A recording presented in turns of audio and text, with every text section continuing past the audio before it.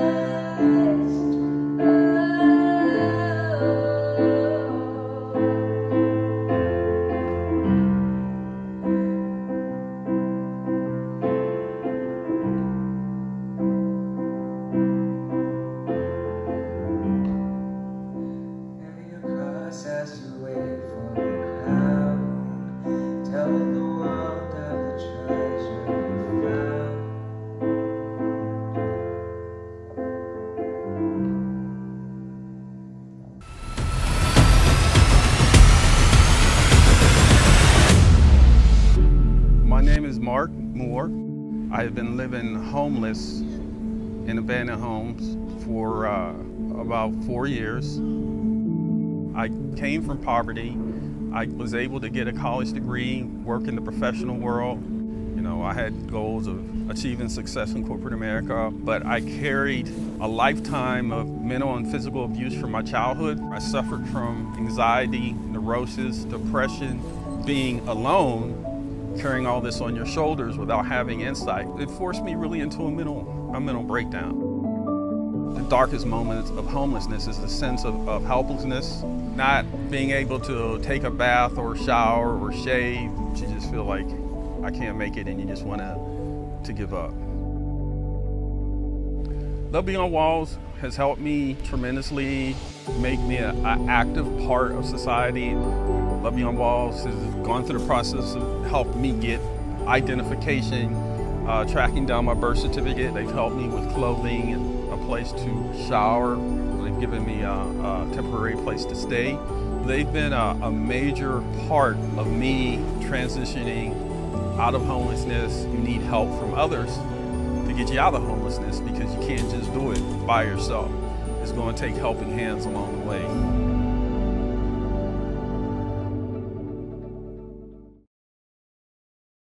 Last week we started a series on justice, and we started by looking at what superheroes do. And one of the things that superheroes do is they go out and they help people. They help the people in front of them. And we just saw that video about Mark, and Mark was dealt a bad hand in life. There was a lot of things that happened to his life that were either by accident or by choice. But there was a guy in Terrence that stepped up and helped Mark. But not only just helped him by by helping him for that day, but transformed Mark's life because of it. And I, I think that's very key for us to understand that, you know what? Terrence didn't save the whole world, but he made a huge difference in one person's life. And so when we talk about being a superhero and bringing about justice in the world around us, let's take a look at Terrence and how he was able to make a difference in that one person's life. Of course, we're in church and we're looking at scripture and we're looking at the, the biggest example of someone that is able to save everyone, and that's Jesus.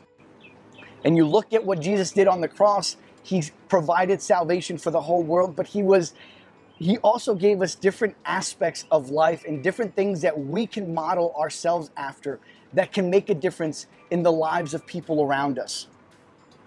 In John 13, we hear a story about Jesus getting to the point of getting close to the point of going to the cross.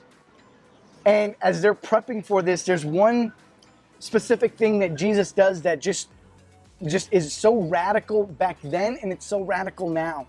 Before the meal, Jesus got together with the disciples and what he did was was strange because it was it wasn't strange by the actions, but it was strange because he was doing it himself. So what Jesus does is he takes a bowl of water and a towel and he goes to all his disciples and he washes their feet.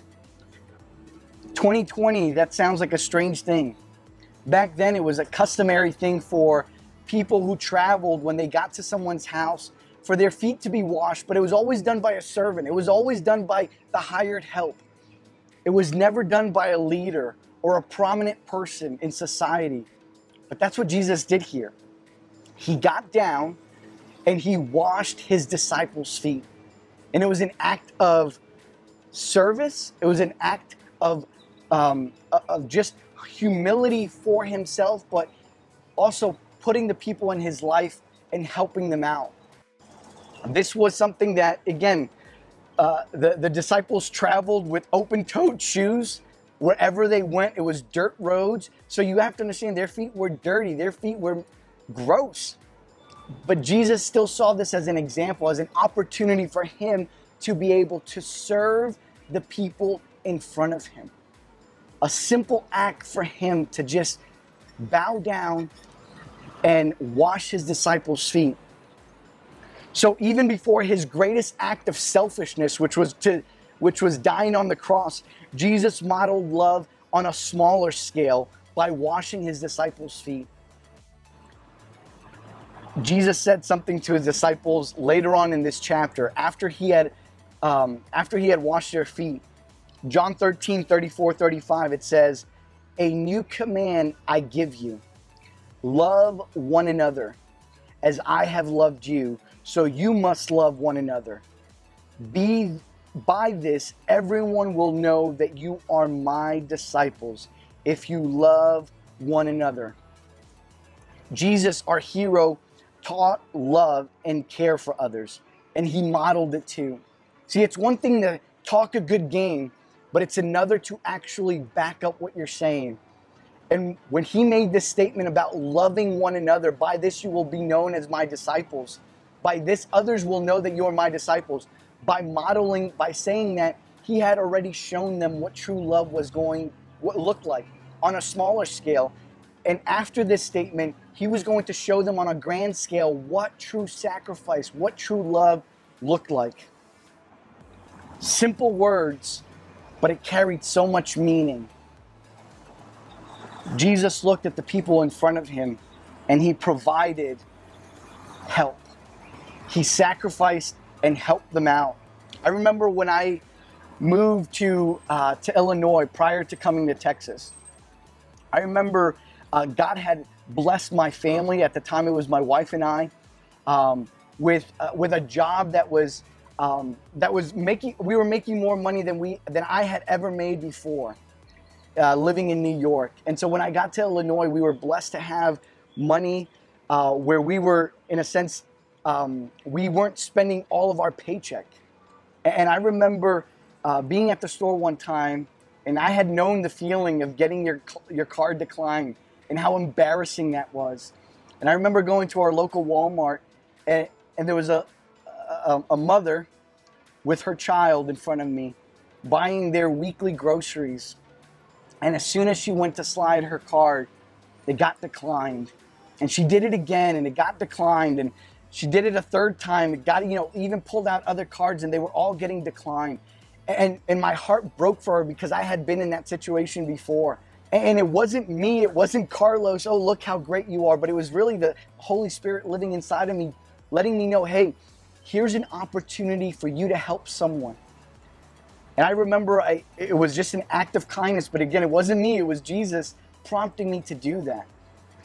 And then again, it, it was, I think it was like 70 or something dollars, so it wasn't a grand amount of money.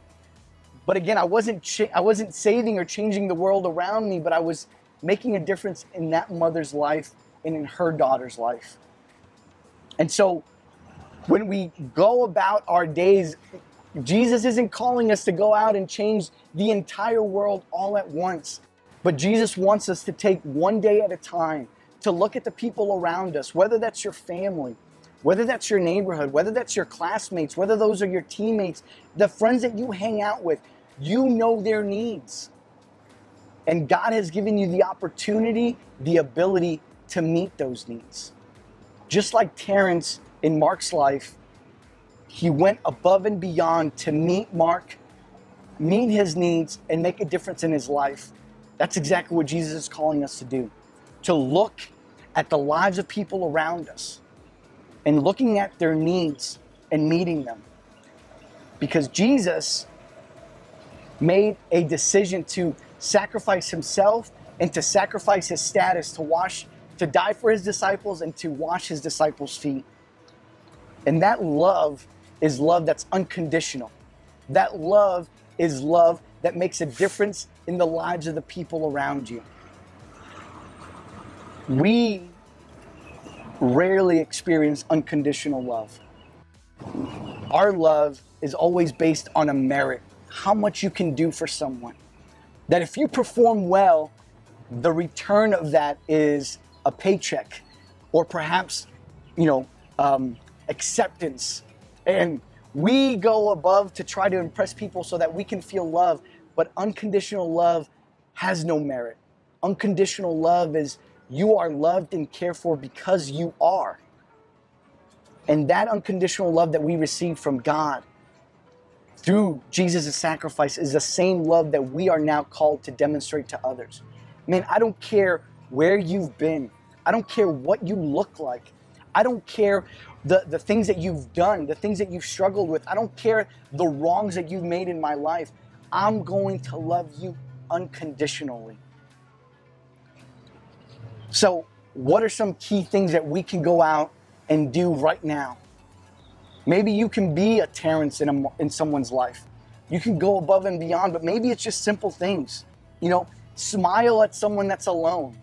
Now, this is not like a creepy thing, all right? So don't don't think, you know, don't go pick up your next boyfriend or girlfriend that way. But I'm saying just smile at someone that maybe looks like they're alone, or maybe they're having a rough day, or or or surprise someone by sitting down or calling them or texting them and finding out, hey, how was your day? How are you doing?